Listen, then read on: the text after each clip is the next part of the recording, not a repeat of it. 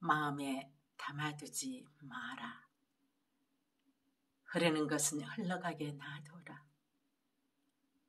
바람도 담아두면 나를 흔들 때가 있고, 햇살도 담아두면 마음을 새까맣게 태울 때가 있다. 아무리 영롱한 이슬도 마음에 담으면 눈물이 되고, 아무리 이쁜 사랑도 지나가고 나면 상처가 되니 그냥 흘러가게 놔둬라.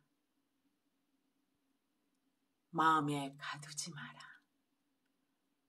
출렁이는 것은 반짝이면서 흐르게 놔둬라.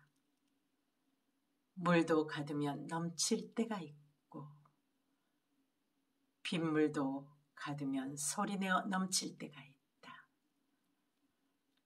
아무리 즐거운 노래도 혼자서 부르면 눈물이 되고 아무리 향기로운 꽃밭도 시들고 나면 아픔이 되니 출렁이면서 피게 놔둬라.